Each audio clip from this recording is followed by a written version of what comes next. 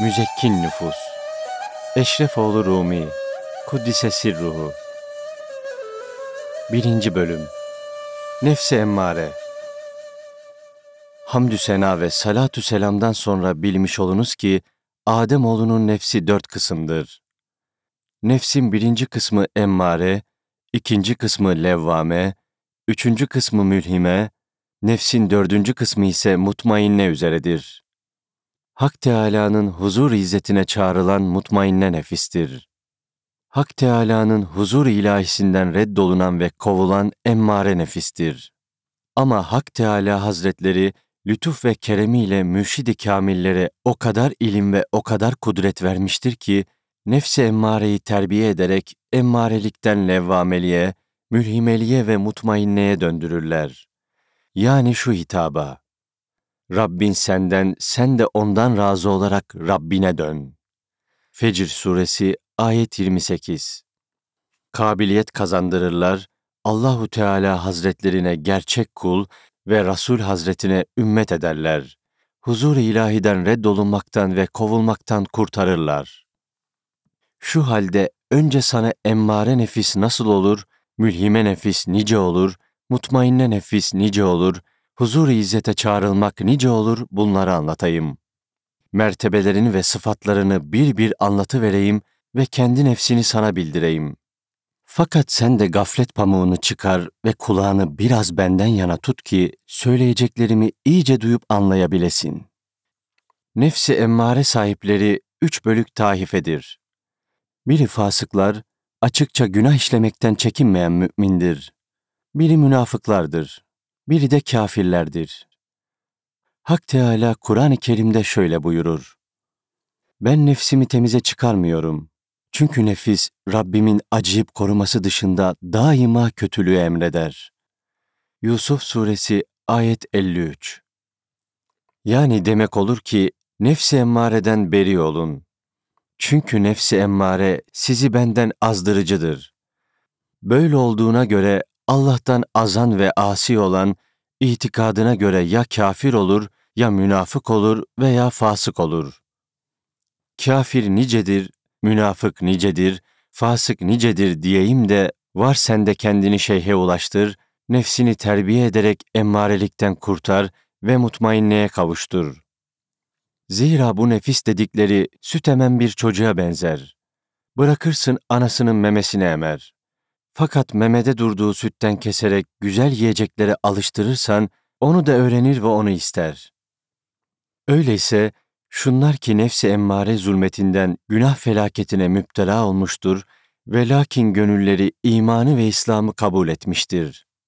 Yani Allah'ın birliğine, ezeli ve ebedi olduğuna, Resulullah sallallahu aleyhi ve sellemin gerçekliğine, haşre ve neşre, kitaplara, meleklere, peygamberlere, Hak Teâlâ'nın buyurduklarının hak olduğuna, Hazreti Peygamber'in buyurduklarının da hak ve gerçek olduğuna inanmış ve itikad etmişlerdir. Ne var ki nefisleri emmarelikten kurtulamamıştır.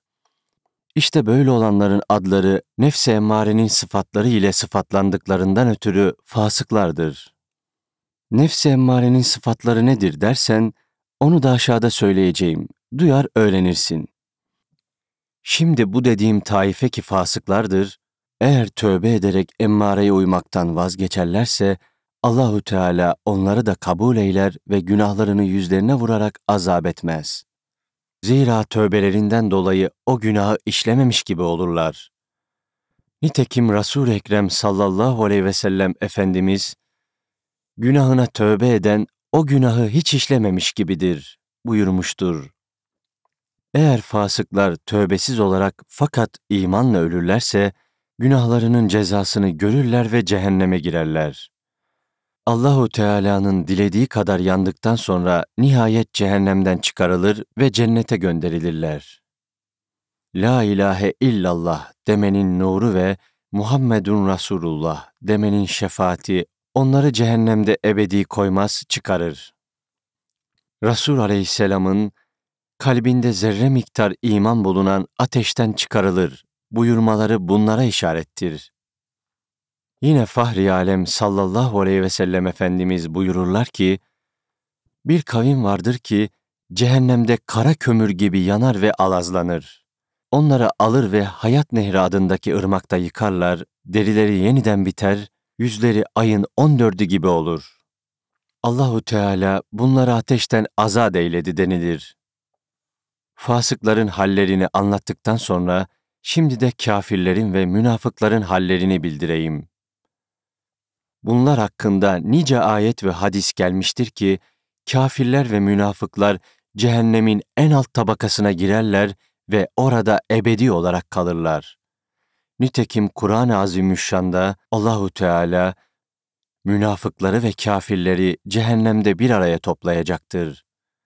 Bir diğer ayeti kerimede de şüphesiz münafıklar cehennemin en aşağı katındadırlar buyurulmaktadır. Kafirlerin ne taife olduklarını elbette bilirsin. Putperest diller ve Allah'ın kelamını ve Resulünü inkar ederler. Ama bir kafir daha var ki küfür kelime söyler ve o söylediği küfürden dönüp tövbe ve istiğfar etmez, küfür kelimesinin üzerinde ısrar eder, böylelikle dünyadan imansız gider. Onlar da kafirlerdir. Fakat münafıklar iki türlüdür. Münafığın biri o kimsedir ki, halk içinde namaz kılar, oruç tutar görünür ama kafalarına ve inançlarına denk kişilerle buluşunca birbirlerine küfürlerini açıklarlar ve küfür lafızlarını söyleşirler. Onlar kimlerdir? Cebriler, Kaderiler, Hurufiler, İbahiler, Hululilerdir ve daha bunlara benzer kimselerdir. Bunların sözlerini söylemek yaramaz. Nitekim Hak Teâlâ şöyle buyurur. O ateşe ancak hakkı yalanlayan, peygamberleri inkar eden, iman ve taatten yüz çeviren bahtsız kafirler girer.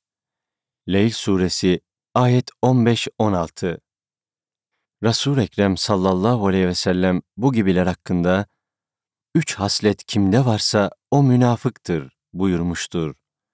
Her kimde bu üç hasletten birisi bulunur ve bunu terk ederek tövbe etmezse münafıklıktan kurtulamaz, ne kadar namaz kılar, oruç tutar ve kendisini Müslüman sanırsa da Müslüman olamaz.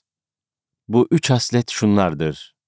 Söz söylerse yalan söyler, söz verirse sözünde durmaz, emanet edilirse hıyanet eder. Bir rivayete göre de iki haslet daha vardır ki o da nifaktandır.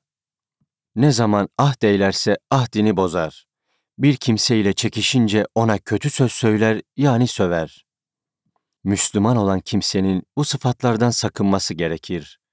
Şunu da iyi bilmelidir ki, nefsi emmarelikten dönmeyince şakilikten, günahkarlıktan kurtulmaz.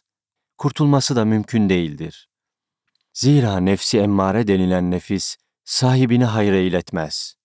Daima şekavete ve nifaka götürür. Fıska ve fücura yöneltir. Çünkü emmarenin manası emir yani buyurucu demektir ve buyurduğunu yaptırıcı demek olur.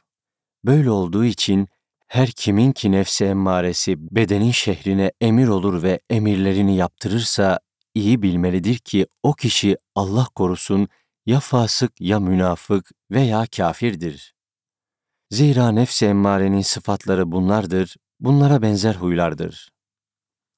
Öyleyse azizim, insanda kemal odur ki nefsini bilmeli, kötü huylarını ve çirkin ahlakını görmeli, güzel ahlak ile ahlaklanmalı, nefsine kabiliyet kazandırmalı ve marifeti hak, Allah'ı tanımak, bilmek hasıl olmalıdır.